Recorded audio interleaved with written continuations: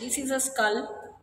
It is made up of total 28 bones including ear ossicles, 6 ear ossicles or 22 bones excluding the ear ossicles. The skull is dividing into two parts, the bones of cranium and bones of face. The bones of cranium are, this is a frontal bone which you are seeing cream colored bone, frontal bone. It is a type of pneumatic bone because it is having frontal air sinuses. These two are parietal bones. The parietal bones are the best example of flat bones. Then this bone, this is a occipital bone. Occipital bone is again the best example of a flat bone. Then this is a temporal bones.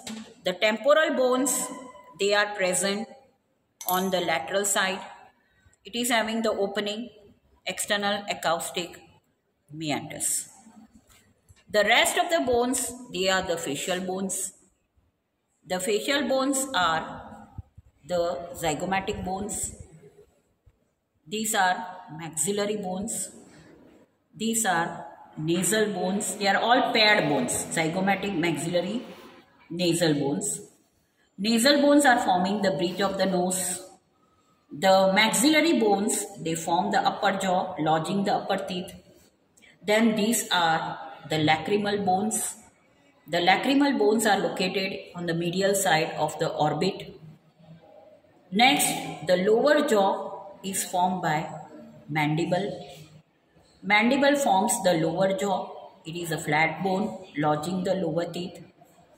In the center of the nasal cavity, you can see yellow colored bone that is a vomer. And on both the sides, there present another bone, inferior nasal concha. The other bones present on the inferior side, these are the palatine bones. You can see between the palatine bones, these are the posterior part of the nasal cavity and this is the posterior part of the vomer what the bone you can see in dark pink color they are the it is a sphenoid bone. Now i am opening the cranial cavity. You can see this is a base of the skull. In the base of the skull you can see this is a roof of the ethmoid bone cribriform plate and crista galli.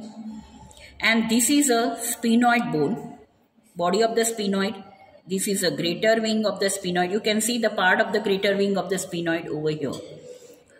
Okay. And this is a lesser wing of the sphenoid.